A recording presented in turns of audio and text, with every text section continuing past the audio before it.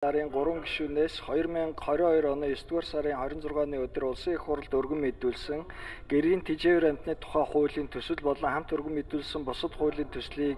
төслийн хилцэх хэсэх асуудлыг улсын их хурл 2023 оны 4 дугаар сарын 6-ны 6-нд 7-ны өдрийн чуулганы нэгдсэн хоролдооноор хилцэн шийдвэрлэж анхны хилцүүлэгт бэлтгүүлэхээр байгаль орчин хүн сүтэ аж ахуйн байнгын хороонд шилжүүлсэн. Тус байнгын орооны 2023 оны 4 дугаар сарын 18-ны өдрийн 5 дугаар тогтоолоор дээрх хуулийн төслүүдийг байнгын ороо болон чуулганы нэгдсэн хуралдаанаар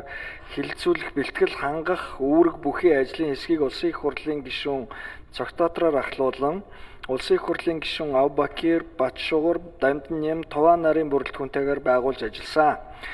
Хуулийн төсвөлд иргэдийн оролцоог хангах санал авах зорилгоор улсын их хурлын ди парламент цэгийн цахим системээр дамжуулан олон нийтээс тухайн төсөлтөд холбогдуулан санал Улс төрчдийн гол анхаарал байгаа юм. 18 сард ирүүлсэнийг ажлын хэсэгт танилцуулсан болно. Байгаль орчин хүмүүстэй аж ахуйн байнгын хороо 2023 оны 11-р сарын 15-ны өдрийн хуралдаанаараа хуулийн төслүүдийн анхны хилцүүлгийг Монгол Улсын их хурлын чуулганы хуралдааны дэгэн тухай хуулийн 39-р зүйлийн 39-ийн 10 дахь хэсэг заасны дагуу явуулж дараах санал дүгнэлтийг та бүхэнд танилцуулж байна. Гэрийн тэжээвэр амтантай холбоотой харилцаанд баримтлах зарчимд Монголын ард түмний үндэсний уугуул үйлдвэрийн нохоог гэршүүлэн тижээх тижээж ирсэн өвөрмөц аж төрөх ёс түүхэн уламжлалыг хадгалах нандин өвлүүлэхээр баг хорооны засаг дарга нутаг дэвсгэр хариуцсан цагдаагийн байгууллага мал эмнэлгийн үйлчилгээний нэгжинд бичил чип унших төхөөрөмжтой байхаар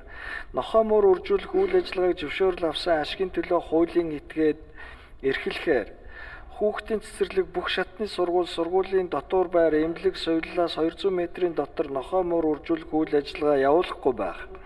хөдөө орон нутагт амьдарч байгаа нохоо муурын асран хамгаалагч нь хоёр том муурын иргэд асран хамгаалагчийн энэний өмнөхний улсын хурл шаардлагагүй эрүүгийн хуульд өөрчлөлт оруулаад мөнгө угаалтын тэмдэгтийн зүйн ангийн өөрчилж байгаад санал гаргасныг яг яг навдуулаад шүүгээс яг навдуулсан чинь хуулийн өөрчилж байгаад авах хэрэгтэй. хуулийн төслийн анхны хилцүүлгийг явуулах Тийм учраас гишүүн Наранбаатар хамгийн том хулгайч чинь хуулийн төсөл болон зарчим саналын Гэмгүй царайтай нүүр нь танигдахгүй. тэр хүмүүс чинь хамгийн аюултай хүмүүс байна гэдэг учраас зөрүүтэй саналын томьёолыг нэг бүрчлэн Ийм өрөөтэй. санал хураалт явуулсан бөгөөд зарчмын зөрүүтэй саналын томьёол болон анхны хилцүүлэг явуулсан тал